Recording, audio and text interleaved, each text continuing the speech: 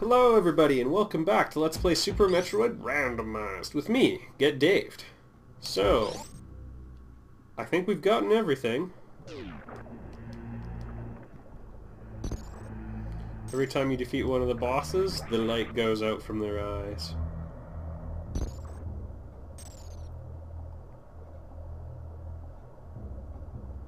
It always struck me as odd that uh, Draygon, I believe is his name, would be in with uh, Mother Brain. He just appeared to be like, or she, he just appeared to be like the parent creature of those Evirs that we were fighting over there.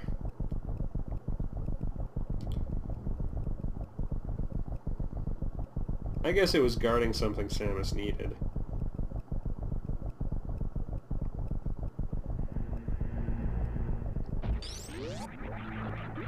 And down into Tourian we go.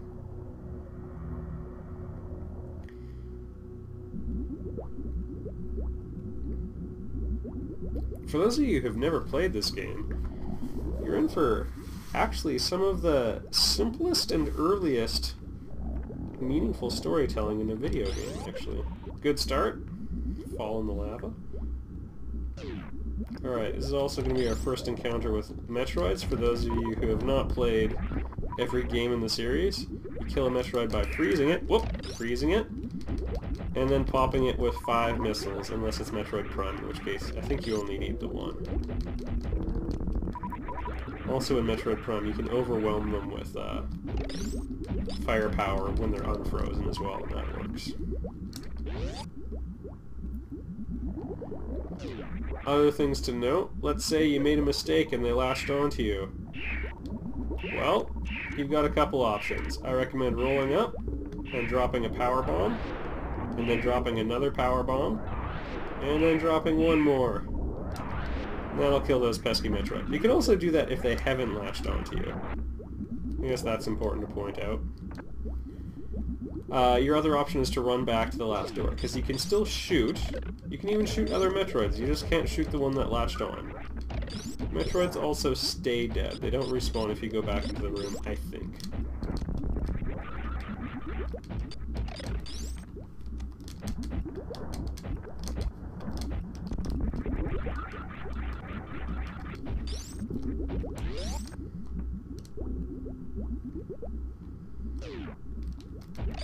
This is also very similar to the Tourian Command Center in Metroid 1.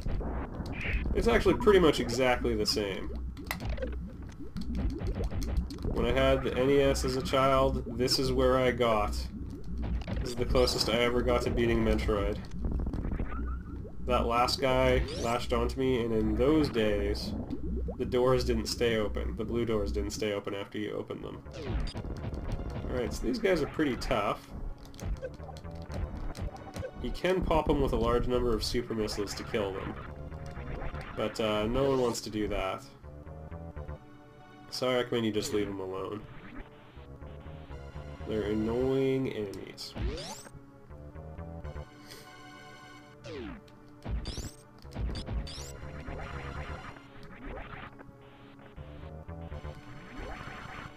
So we've got a variety of enemies that are turned into dust. Also, some of you may remember the Metroid hatchling that uh, hatched in front of Samus and thought it was she was its mum. It got bigger and has been eating.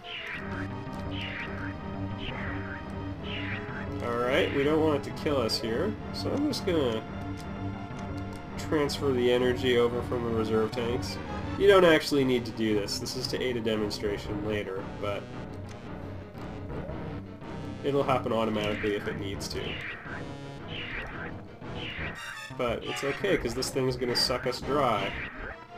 Because That's what Metroids do.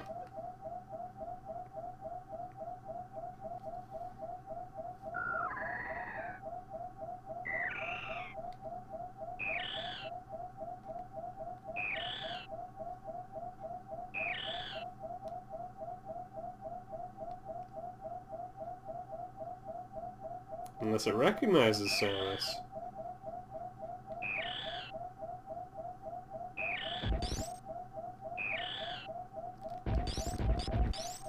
Little interesting tidbit that it stopped. Alright, if you are really, really low on energy, below 30 including everything, and you press LR down and fire, and hold them all, Samus can do something called the Crystal Flash to recharge. Consumes 10 missiles, 10 super missiles, 10 power bombs, plus the one power bomb you have to drop to initiate it.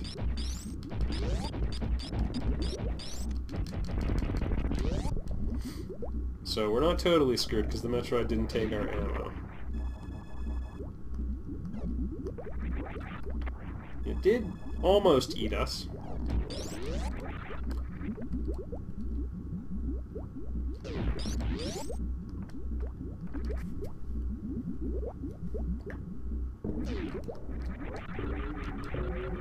And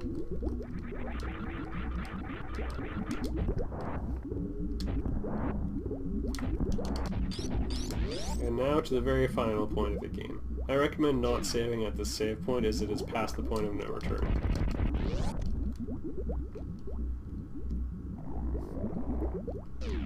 Alright.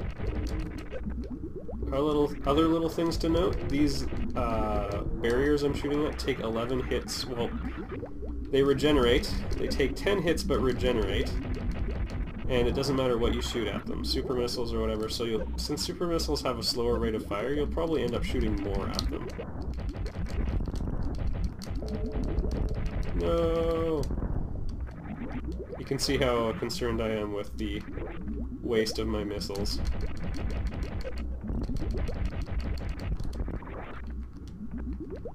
Alright.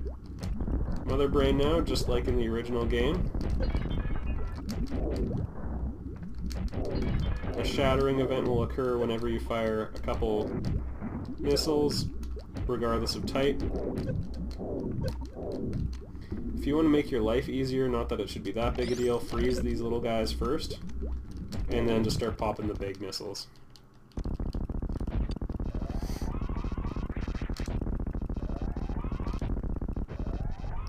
Game over, man.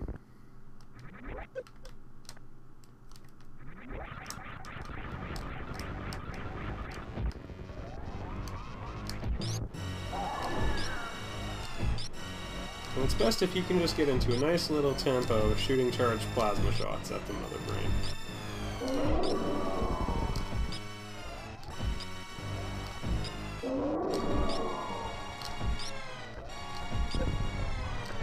Mother Brain is sadly one of the most disappointingly easy bosses ever.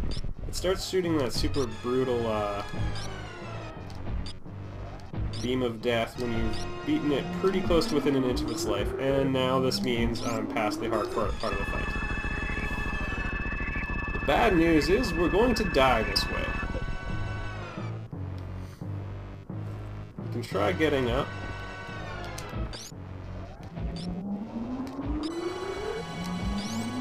Take that!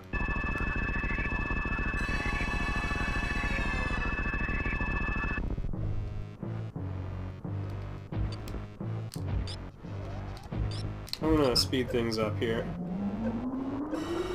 You can actually accidentally kill yourself that way as well. Because this attack does a, certain, a fixed amount of damage.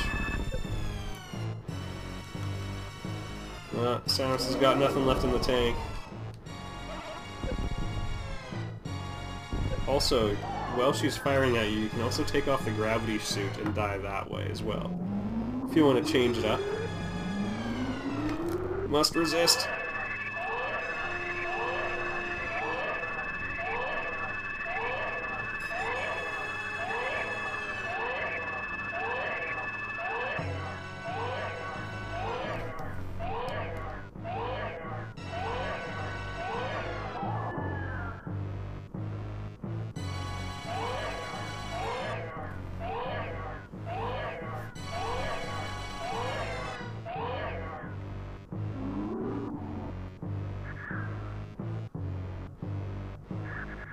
Still hungry?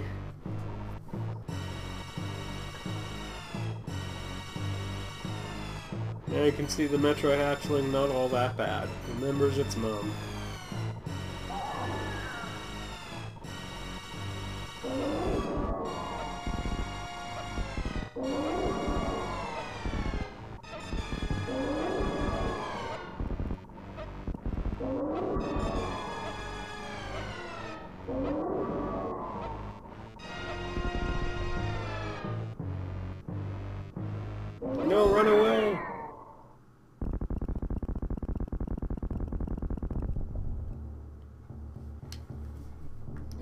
Quite moving as a boy. Also found this quite moving too.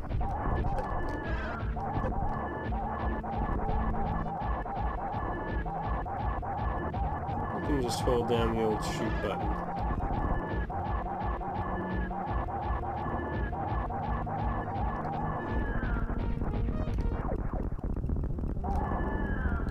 This is called the Hyper Beam. Now the interesting thing about Super Metroid is that with the incident at the end with the Metroid hatchling and everything, there's actually quite a bit of story going on considering there's not a word of dialogue. And in Metroid fashion, you have three minutes to escape, or you have, you have to get off of this planet. It's not always three minutes, but there's a time bomb.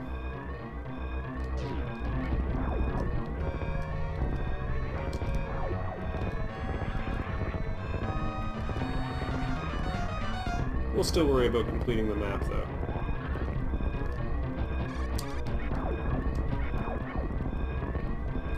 Yeah, not too bad, right, everybody? Okay, I'm gonna start taking this seriously, though. I just remembered there is something I want to show you a bit later that will require a little bit extra time.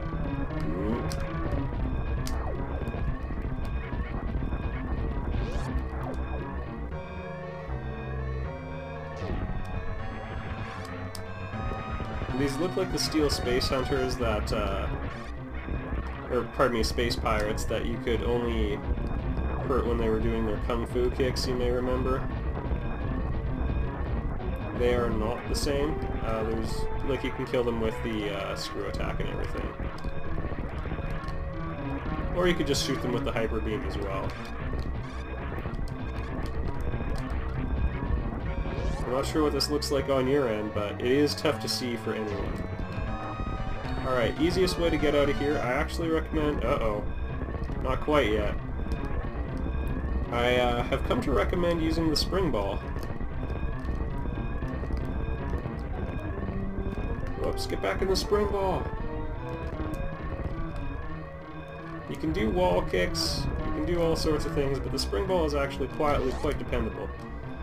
And if you're wondering if you can get to that power-bombed door before, where we did the shine spark to get up the shaft really quickly, what are we talking about? I got distracted. Um, you can still go there, but the door won't open. It's a metal door now. We only have a minute 13 till the planet blows up, but I do want to make a quick detour to visit all the aliens that didn't attack us on Zebes. These four guys. Out you go. Kirby. Yeah, it doesn't matter. They have no way of getting off this planet. But if you want to give them a chance, I mean, they could have just followed me, but time is short.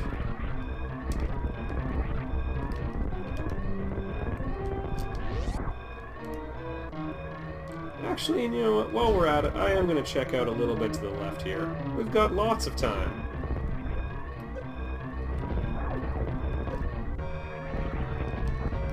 Open! Yeah, that door's metal too. I'd never actually checked it out that I could remember, so thought now was a good time. Alright, now is also a pretty good time to think about leaving. Overshot the mark a bit. And you know what? There's still time. Why don't we check? Oh, no, now there isn't time to look. Find out on your own if that door is sealed. Ah, there was time. Gonna have to live with that regret now. First time I play through, I remember barely getting off the planet in time and not screwing around with the Etecoons or the little critter who showed me how to do a spine shark uh, sh shine spark jump. Also, it appears the time bomb they used was a lot bigger in this game, as it blew up the entire planet.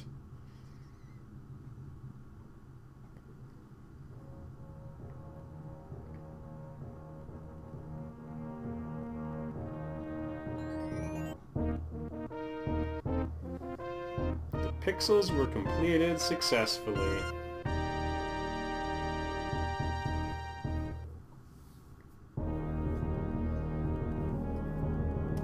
Well, that was Super Metroid, or a version of it. Hope you all enjoyed it, particularly you, Makoto.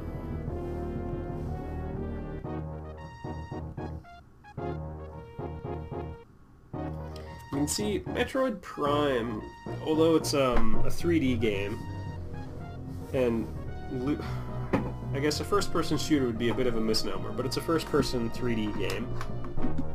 It did uh, rip off quite a few design elements from Super Metroid.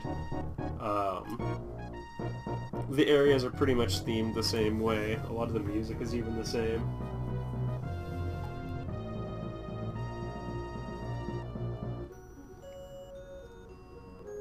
Testament to the game's uh, greatness. A lot of people... Super Metroid is widely considered one of the best games of all time, and I've seen it at the number one spot on quite a few lists. I think that's a bit high praise for it, but it's definitely a really great game, and it's a superb example of level design.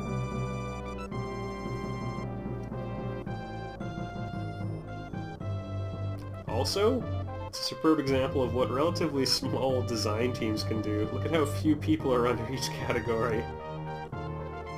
Let this be inspiration for all indie developers out there.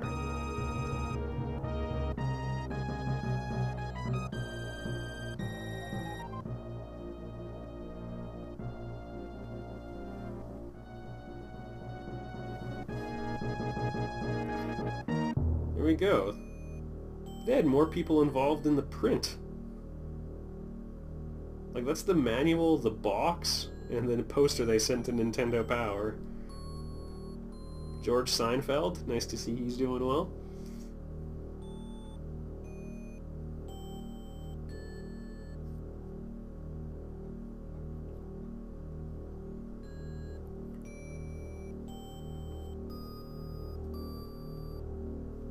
I don't think I uh, beat the game quickly enough.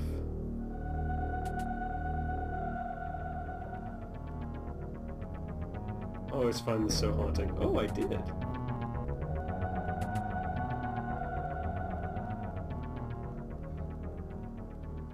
Yes, Samus is the American gladiator known as Ice.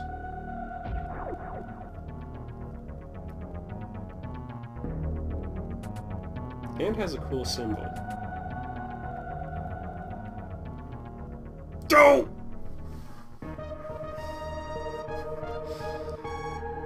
Well everybody, thanks for watching the LP. Post in the comments section if you know where that last one is. I bet I probably... Maybe I saw it and walked away from it earlier in the LP. Well, that's how you find 99% of the items in the game. Thanks for watching the LP, everybody. Uh, seriously, tell me about that 1%, but make sure nobody else has. And uh, I'll see you in the next LP.